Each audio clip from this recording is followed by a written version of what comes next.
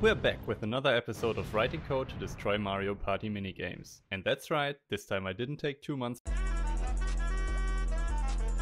for a single video to come out, so let's get right into it.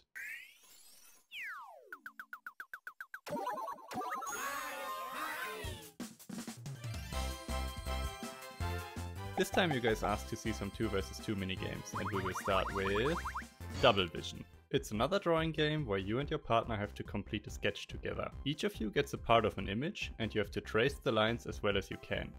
When the time is up, the accuracy of both team members is summed up and the team with more total points wins. To solve this game, there are three steps involved. First, we have to detect our part of the drawing. Next, we have to convert this information into a set of lines to follow. And finally, we have to move the cursor to actually draw the lines. The first part is easy enough. We can find out the RGB color of our part of the drawing and select it in similar colors with OpenCV.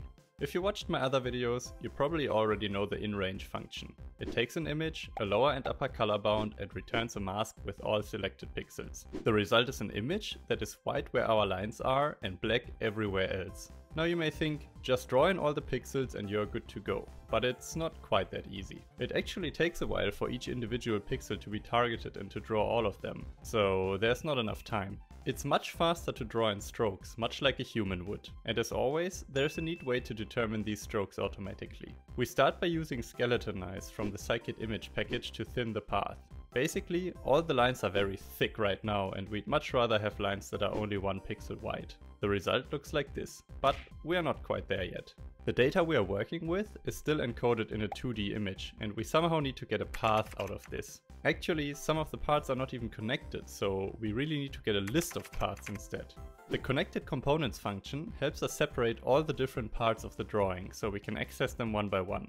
And finally, we move from the mask to an actual list of pixel positions by using the find contours function. We first filter out all components into their own image and then call find contours on them to retrieve the final results. Phew, that was a bit of work. But now we can literally just iterate over the lists and drag the mouse over the positions inside of them. And that should, in theory, be all we need. Oh yeah, and I coded in an automated game start detector. When the timer shows up, we know the game is running and I'm capturing the screen for the line detection in that frame. So let's see how it goes.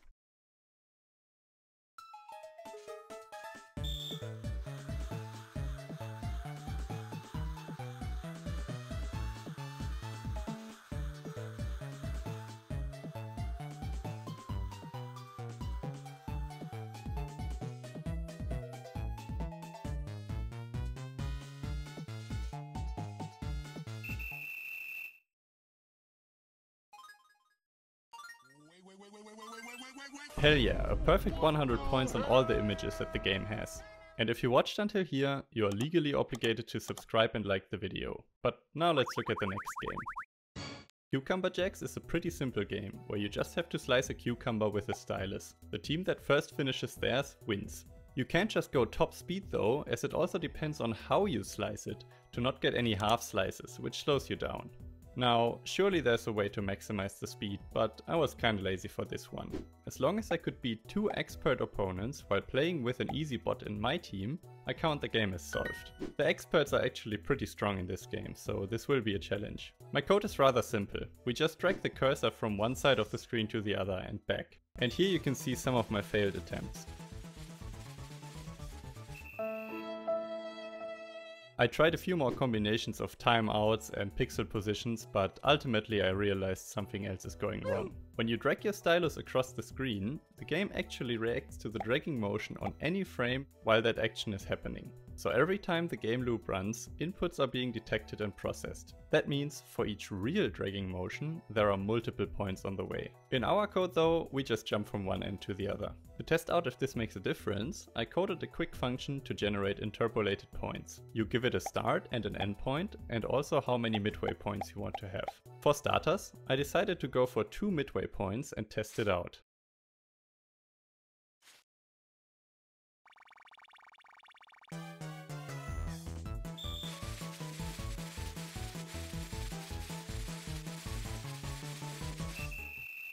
And that actually worked pretty well. I'm sure there are even faster ways to do it, but for me this is good enough. Before we go to the next one, I wanted to welcome all the new viewers. If you don't know it yet, this is a series where I want to automate all Mario Party DS minigames. And of course I already finished quite a few, so definitely watch them after this video. Also comment your favorite games that you want me to destroy next.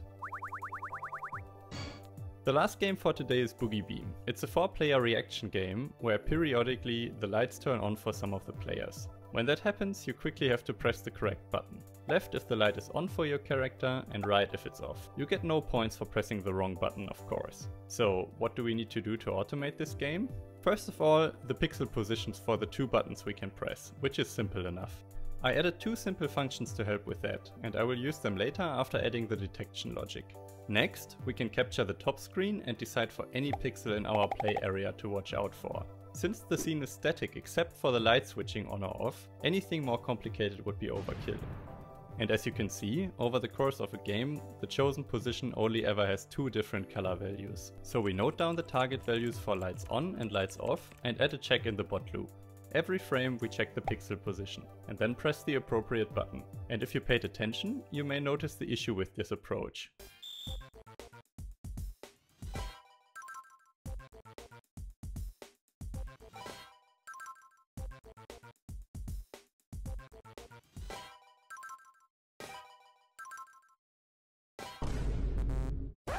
We don't really want to press the button every frame, only when any light is on at all.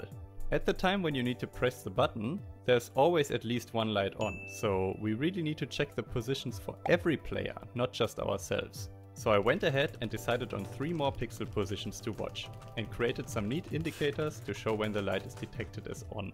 I also changed the logic. When no light is on, do nothing. As soon as any light turns on, check the light status for our player on the left and press the correct button, on or off. Let's see how this goes.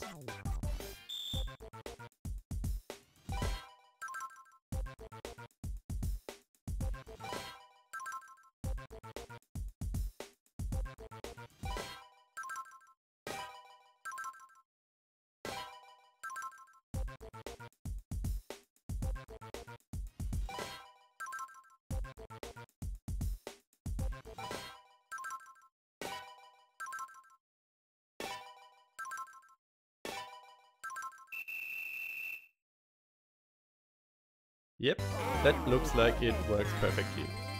Now, this is the point where most people click off the video, but after I'm done rambling, I show some channel statistics. If you're interested in that kind of stuff, keep watching for a few more seconds. Anyway, thanks for sticking around until now. I hope to see you again in the next one. And of course, thanks to the certified Sigma Riz Lords, you guys are the best.